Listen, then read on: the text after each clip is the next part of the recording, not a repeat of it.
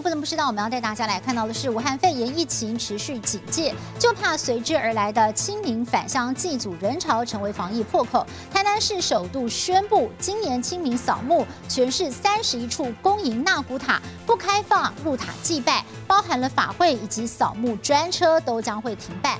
而这个消息一出呢，民众正反两极的评价都出来了。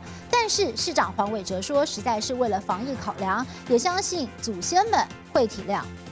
清明节脚步将近，陆续有民众提前扫墓祭祖，随处可见防疫公告。那古塔内属密闭空间，不得不谨慎。这个额温是超过三十七度，我们就没有进入，不让它进入馆内。希望这是总量管制。清明扫墓祭碰上武汉肺炎疫情当前，严防传染风险。高雄市防疫规定，民众进塔祭祖得戴口罩、量额温、消毒，同时进行总量管制。不过往北走，在台南首度下禁令。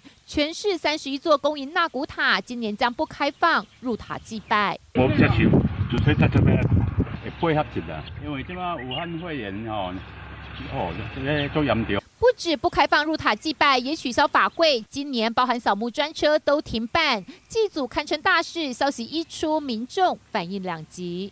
啊，你要去纳古塔祭拜，都是摩肩擦踵。